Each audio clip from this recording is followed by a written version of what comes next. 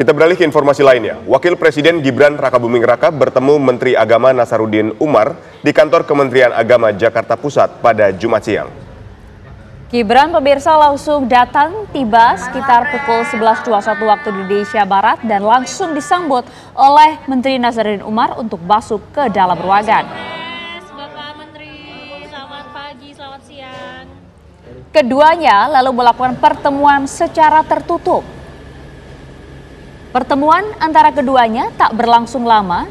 Sekitar pukul 11.45 waktu Indonesia Barat, Wapres Gibran langsung keluar dari Kemenak diantar oleh Sekjen Kemenak Muhammad Ali Ramdhani. Mas.